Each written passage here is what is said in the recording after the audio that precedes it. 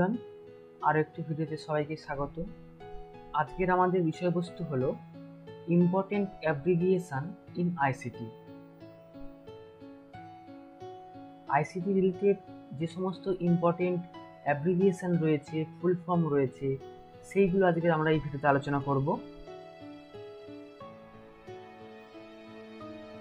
প্রথমেই যে অ্যাব্রিভিয়েশনটা রয়েছে, আইসিটি। আইসিটির পুরো নাম হলো ইনফরমেশান, কমিউনিকেশান, টেকনোলজি। তারপর আছে A S C double I. এর ফুল ফর্ম হলো American standard code for information interchange.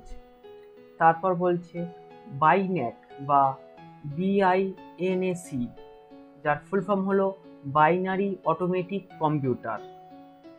তারপরে বেসিক বা বিএএসআইসি যার ফুল ফর্ম হলো beginners all purpose symbolic instruction code তারপরে বায়োস বা বিআইওএস যার ফুল ফর্ম হলো বেসিক ইনপুট আউটপুট সিস্টেম তারপরে রয়েছে বিট বা বিআইটি যার ফুল ফর্ম হলো বাইনারি ডিজিট তাহলে বাইনারি ডিজিটকে সংক্ষেপে বিট বলা হয়। তারপর রয়েছে এফএস ফাইল সিস্টেম। তারপর রয়েছে এনওএস, যার ফুল ফর্ম হলো নেটওয়ার্ক অপারেটিং সিস্টেম তারপরে রয়েছে ওসিআর অপটিক্যাল ক্যারেক্টার রিডার্স বা অপটিক্যাল ক্যারেক্টার রেকগনিশান এটা আমি ইয়েলো কালারে হাইলাইট করে রেখেছি। তার অর্থ হলো এটা অলরেডি পরীক্ষায় এসেছে। দু হাজার কুড়ি সালের পরীক্ষায় ওসিআর এর ফুল ফর্মটা এসেছে। নেক্সট হলো ইউপিএস আনইন্টারাপ্টেড পাওয়ার সাপ্লাই আমরা যেরকম কম্পিউটারে ইউপিএস ব্যবহার করি, যখন কারেন্ট চলে যায় বা পাওয়ার কাট হয়ে যায়, তখন আমরা ইউপিএসটাকে অন করে ইউপিএস ব্যবহার করে আমরা কম্পিউটার চালাতে পারি। তো সেটাই বলছি ইউপিএস এর পুরো নাম হলো আনইন্টারাপ্টেড পাওয়ার সাপ্লাই তারপরে ইউআরআই ইউনিফর্ম রিসোর্স আইডেন্টিফায়ার তারপরে ইউআরএল ইউনিফর্ম রিসোর্স লোকেটর। এটাও দু হাজার কুড়ি সালের পরীক্ষা এসেছে। তারপর রয়েছে ইউএসবি ইউনিভার্সাল সিরিয়াল বাস। তারপর রয়েছে ULSI ultra large scale integration. তারপরে যে অ্যাপ্লিকেশনগুলো রয়েছে, ইউনিভেক বা ইউএনআইভিএসি যার পুরো নাম হলো ইউনিভার্সাল অটোমেটিক কম্পিউটার। তারপর রয়েছে ডাব্লিউবিএল ওয়েব বেসড লার্নিং, যেটা দু হাজার কুড়ি সালের পরীক্ষায় এসেছে। তারপর রয়েছে ডিএনএস ডোমেইন নেম সিস্টেম। তারপর রয়েছে ডিপিআই ডটস পার ইঞ্চ। তারপর রয়েছে GUI graphical user interface. Graphical user interface, এটা খুব ইম্পর্টেন্ট একটা application. PCI peripheral component interconnect CPU central processing unit CU central unit A L U arithmetic logic unit এটাও একটা important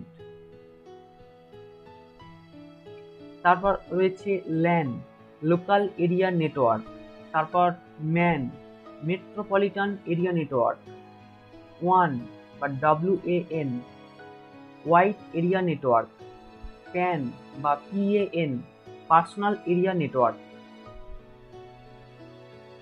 তারপরে এখানে যে অ্যাপ্লিকেশনগুলো রয়েছে, এগুলো প্রত্যেকটা ইমেজ ফাইল ফরম্যাট তো এইগুলো আলোচনা করা যাক। যেমন GIF GIF graphics interchange format JPEG joint photographic experts group PNG পিএনজির পুরো নাম হলো পোর্টেবল নেটওয়ার্ক গ্রাফিক্স এক্সিপ বা EXIF exchange image file format তারপর রয়েছে টিআইএফএফ যার পুরো নাম হলো tagged image file format BMP যার ফুল ফর্ম হলো বিট ম্যাপ বিট ম্যাপকে সংক্ষেপে বলা হয় বিএমপি তারপর রয়েছে বিপিসি বেটার পোর্টেবল গ্রাফিক্স তারপর রয়েছে H E I F high efficiency image file format তারপর রয়েছে অডিও ফাইল ফরম্যাট এই যে অ্যাপ্লিকেশনগুলো রয়েছে, এগুলো প্রত্যেকটা অডিও ফাইল ফরম্যাট থেকে রয়েছে। যেমন পিসিএম যার পুরো নাম হলো পালস কোড মডুলেশন ওয়েব বা ডাব্লিউএভি যার পুরো নাম হলো wave form audio file format তারপর রয়েছে এআইএফএফ যার ফুল ফর্ম হলো অডিও ইন্টারচেঞ্জ ফাইল ফরম্যাট তারপর রয়েছে এএসি যার পুরো নাম হলো অ্যাডভান্স অডিও কোডিং তারপর রয়েছে ডাব্লিউএমএ যার পুরো নাম হলো উইন্ডোজ মিডিয়া অডিও তারপর রয়েছে ফ্ল্যাক বা এফএলএসি যার পুরো নাম হলো ফ্রি লসলেস অডিও কোডেক তারপর রয়েছে এএলএসি যার ফুল ফর্ম হলো অ্যাপেল লসলেস অডিও কোডেক এরপর আমরা দেখব কিছু ভিডিও ফাইল ফরম্যাট যেমন এমপেক বা এমপিইজি যার পুরো নাম হলো মুভিং পিকচার এক্সপার্টস গ্রুপ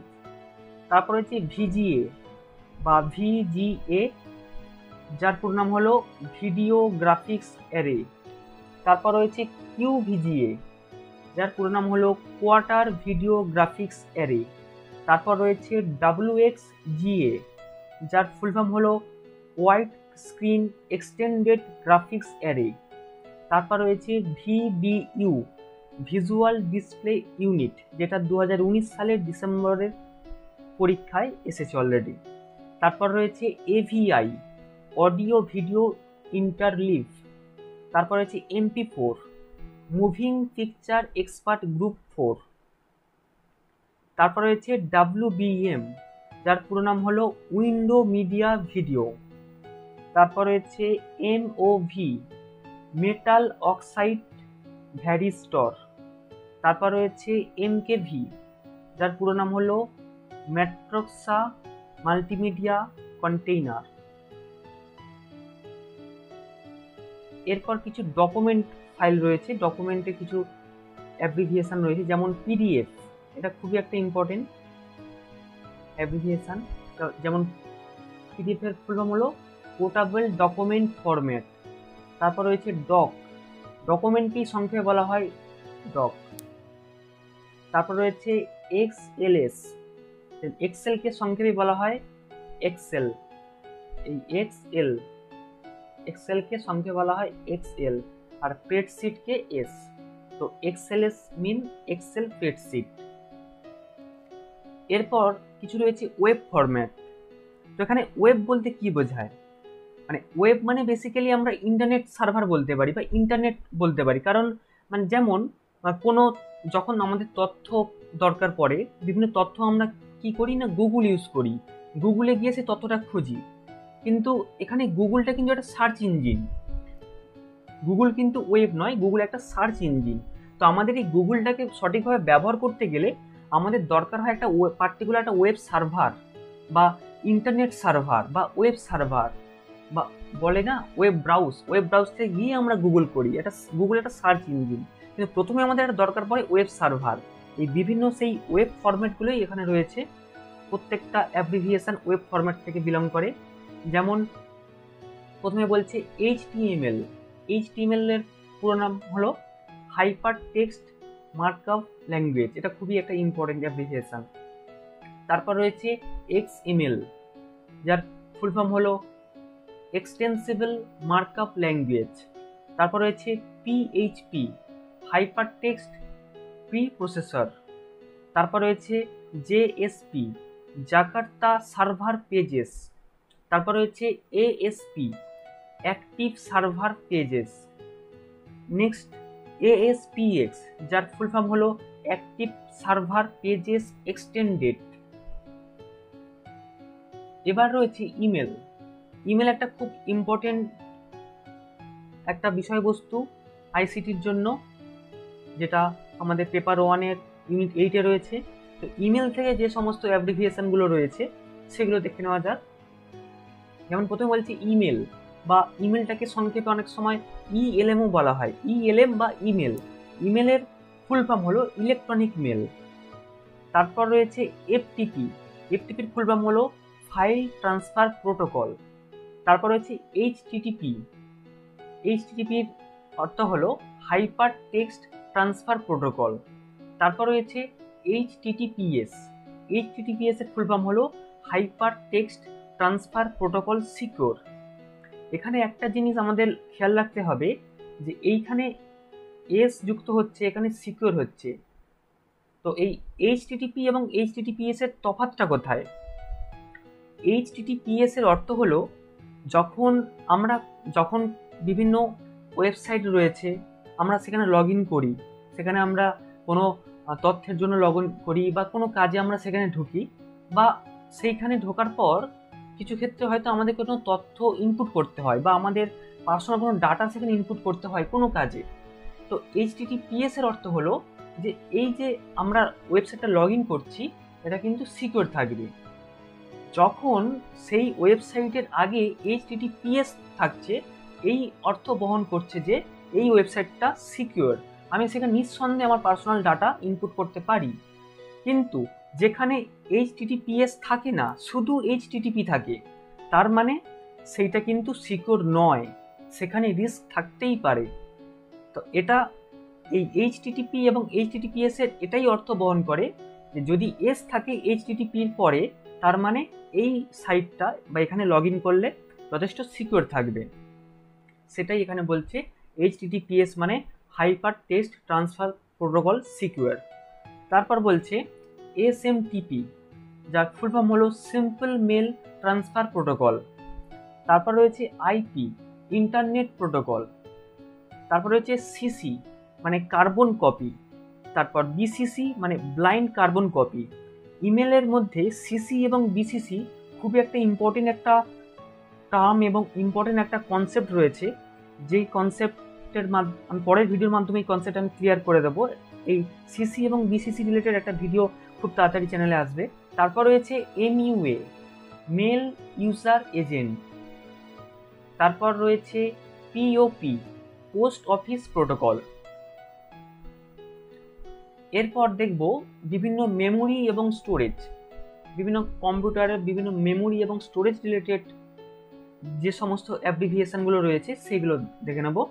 যেমন প্রথম হচ্ছে র্যাম র্যান্ডম অ্যাক্সেস মেমোরি তারপর রয়েছে রম যার ফুল ফর্ম হলো রিড অনলি মেমোরি তারপর বলছে ডি র্যাম বা ডাইনামিক র্যান্ডম অ্যাক্সেস মেমোরি তারপর রয়েছে ভি র্যাম বা ভিডিও র্যান্ডম অ্যাক্সেস মেমোরি তারপর রয়েছে SD RAM synchronous dynamic random access memory তারপর রয়েছে ডিভিডি ডিজিটাল ভিডিও ডিস্ক বা ডিজিটাল ভার্সাটাইল ডিস্ক তারপর রয়েছে ডিভিডিআর যার ফুল ফর্ম হলো ডিভিডি রেকর্ডেবল তারপর রয়েছে ডিভিডি রম রম মানে তো আমরা আগে জানি রিড অনলি মেমোরি তো রিড অনলি মেমোরির আগে জাস্ট ডিভিডিটা অ্যাড করে দিতে হবে।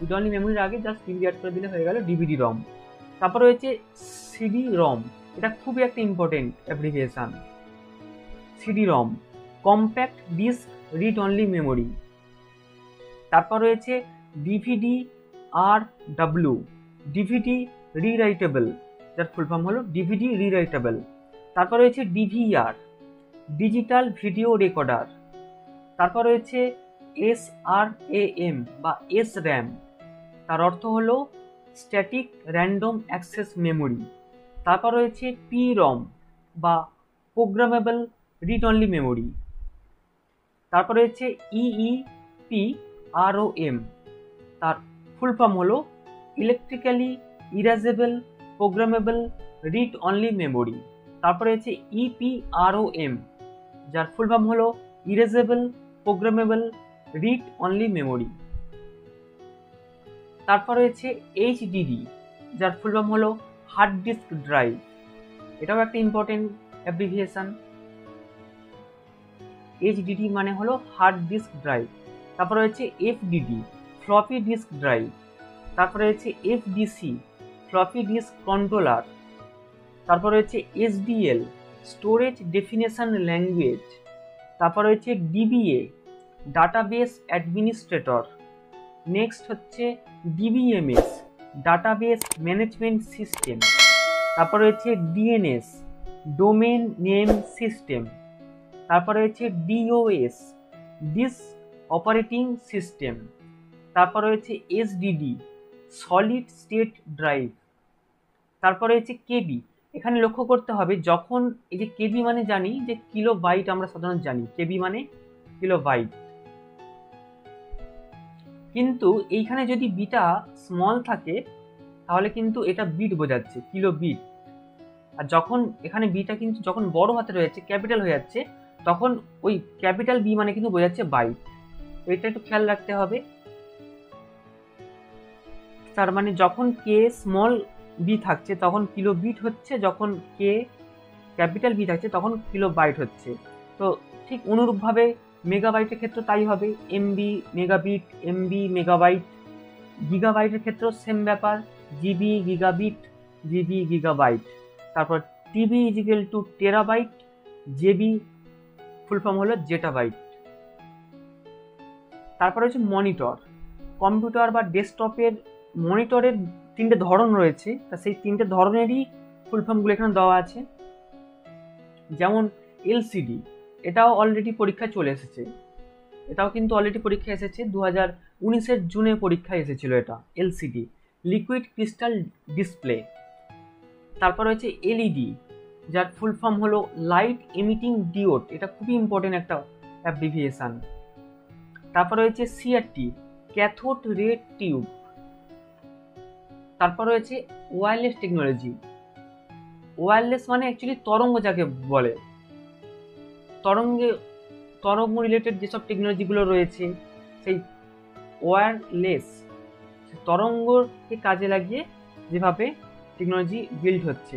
তো ওয়্যারলেস টেকনোলজি থেকে যে অ্যাপ্লিকেশনগুলো রয়েছে, যেমন সিম সাবস্ক্রাইবার আইডেন্টিফিকেশান মডিউল তারপর রয়েছে ওয়াইফাই এটা খুবই একটা ইম্পর্টেন্ট ওয়াইফাই ওয়াইফাই পুরো নাম হলো ওয়্যারলেস ফাইটলিটি, তারপর W L L A N, যার ফুল ফর্ম হলো ওয়্যারলেস লোকাল এরিয়া নেটওয়ার্ক। তারপর রয়েছে ডাব্লিউপিএ যার ফুল ফর্ম হলো ওয়াইফাই প্রোটেক্টেড অ্যাক্সেস। তারপর রয়েছে আর এফ আইডি যার ফুল ফর্ম হলো রেডিও ফ্রিকুয়েন্সি আইডেন্টিফিকেশান, যেটা অলরেডি পরীক্ষা এসেছে দু হাজার আঠেরো ডিসেম্বরে।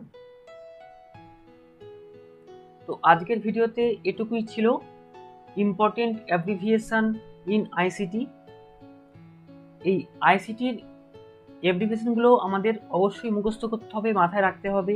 এখান থেকে কখনো ডাইরেক্ট কোশ্চেন করা হয় যে এই টার্মটার কি ফুল ফর্ম এই অ্যাপ্লিকেশনটার কি ফুল ফর্ম এবং কোনো কোনো ক্ষেত্রে এই অ্যাপ্লিকেশনগুলোর যদি অর্থ আমরা জানি, প্রত্যেকটা ফুল ফর্ম যদি মনে রাখতে পারি, তো আমাদের বিভিন্ন কনসেপ্টও ক্লিয়ার থাকে। অন্য এই সমস্ত টার্ম রিলেটেড বা এই সমস্ত বিষয়বস্তুগুলো রিলেটেড যদি অন্য কোশ্চেনও থাকে, তো আমার যে ফুল ফর্ম যদি মাথায় থাকে, তাহলে আমরা সেই কোশ্চেনও করতে পারব।